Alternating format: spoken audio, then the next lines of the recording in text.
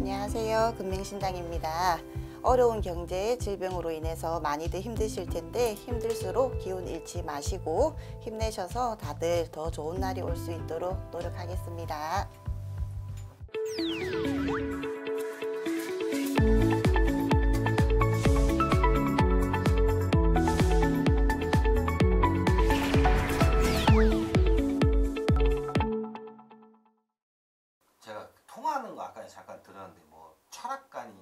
아니라고 막 전화 오셨는데 철학관으로 착각하고 전화 오시는 분들도 있어요. 아, 예, 예. 일반 분들은 그 개념이 잘 없어요. 그죠? 예, 그러다 보니까 철학관인지 뭐 신점을 보는 곳인지 그런 개념이 조금 없으시기 때문에 그런 경우 생기죠. 그래서 어저께도 아, 아, 통화하는 거 들어가니까 뭐 성씨만 넣으라고 얘기를 하세요. 네.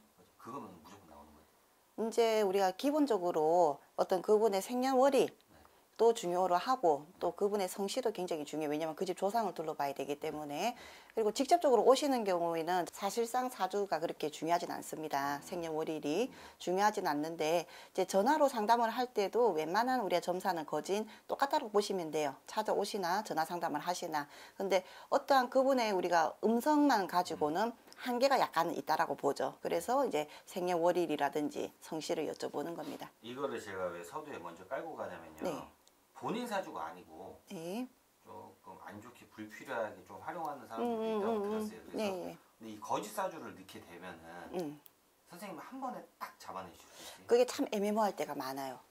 저희도 그거를 잡아내기가 애매모호한 게 이제 그 사람을 우리가 직접적으로 봤으면 그렇죠. 어 봤으면은 이 사주의 흐름과 그 사람의 모습에서 매치를 시켰을 때 매치가 안 될 적에는 이게 본인 사주가 맞냐라고 종종 물어볼 경우가 있는데 이거 우리가 사기를 당하려고 들면 네. 뭐 사기치는 사람한테 못 이겨요. 음, 못 이기고 또 혹시나 아셔야 될게 네. 정말로 우리가 어, 제대로 된 점사라든지 상담을 원하신다 하시면 속이고 들어오시면 안 돼요. 다른 분들은 뭐 어떻게 하시려는지도 모르겠지만 네. 저 같은 경우에는 그러니까 한마디로 테스트하러 들어오시는 분들 그렇죠. 어, 그런 분들이 들어오실 적에는 정확한 답이 안 나와버려요 제가 안 음. 나오고 그쪽에서 말을 진실되게 안 하면 나도 진실되게 안 나가는 경우가 많더라고요 어, 그러니까 그런 분들은 뭔가 우리가 점을 보면서도 찝찝하죠. 네네. 그러니까 그냥 가시라고. 아. 뭔가 잘못된 것 같으니까 가시라고 말씀하시죠. 왜 이렇게 네. 거짓 사주를 넣어가면서 어, 호기심인 것 같아요. 그거는 그 상대방의 그러니까 어디까지 너희가 음, 알 수 있냐, 어디까지 잡아낼 수 있냐 네. 하는 호기심. 그 저는 맨 처음에 애동 때도 죽은 사람 사주로 많이 들고 오시더라고요, 사람들이. 응, 죽은 망자. 그러시면서 한 번 되게 좀 에피소드가 하나 도 있는 게 네. 할머니하고 손녀가 오셨어. 네. 오셔가지고 자기 아들 사주를 봐달래요. 네. 그래서 자기 딸이 자기 또 아버지인 거야.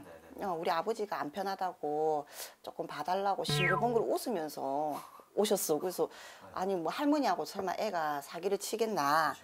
그래서 이제 뭐가 문제인가 싶어서 보려고 보는데 자꾸만 우리 할머니가 한 줌에 제가 됐다 하시더라고요. 음, 그래서 내가 할머니 공수를 받고 이 어머 할머니 얼굴을 봤는데 네.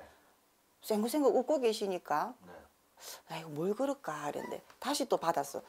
할머니 할머니 이 사람 사주 잘 봐주세요. 뭔가 많이 답답하신가 봐요. 잘 봐주세요. 했는데 또 할머니가 한 줌에 제가 됐다. 음, 그 말을 여덟 번을 하시는 거예요. 어, 그래서 앞에 계신데 예 예. 그래서 도무지 이건 아니다. 부채 방으로 놓고 어머니 할머니 이거 한 줌에 제가 됐답니다. 네. 이거 어떻게 된 겁니까? 그랬더니 막 그때부터 우시더라고.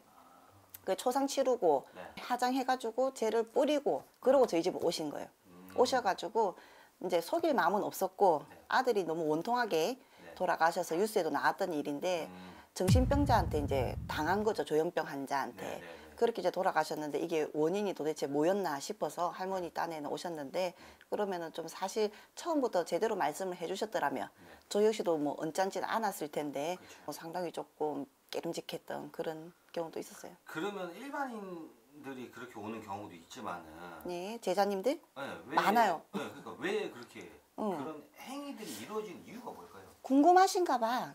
요즘에는 이제 안 오시는데 8년 전까지만 해도 제가 그때 나이도 어렸고 애동이었잖아요.